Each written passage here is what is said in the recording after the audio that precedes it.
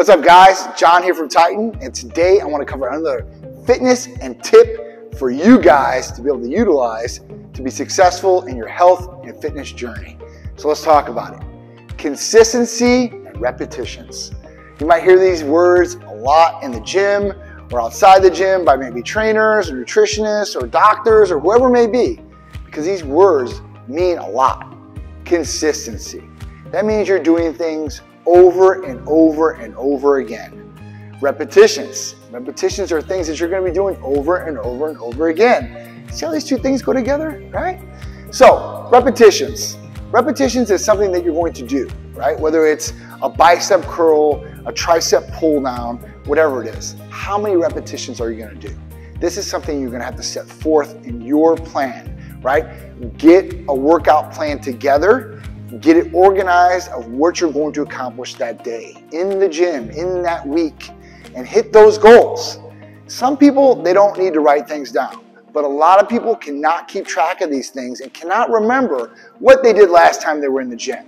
So keep a notebook if you need to, but you don't have to be old like that. You got your phone right, and it's usually on you when you're in the gym.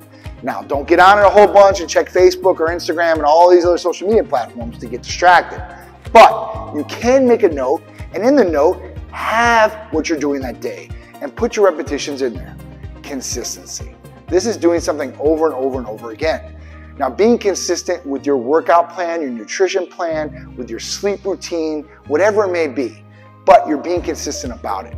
And you want to be consistent in a positive way, using what we've learned before in previous things, like setting the notebook up in your phone and following your repetitions and following your plan and being consistent about it day in and day out. That's what differentiates the people that achieve their goals, the people that do not achieve their goals, right? They have to be consistent and they have to continuously do the repetitions over and over and over to get better. Think about it. Whatever sport you play or anything you've done, the more repetitions you do at things, the better you get at it. That old saying comes into play. Practice makes perfect, right? And it applies to this situation too as well.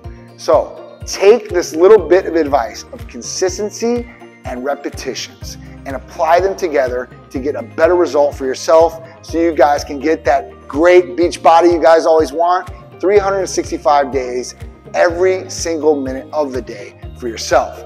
So guys, I hope this tip has helped you guys. I'll have a lot more for you guys. Stay tuned.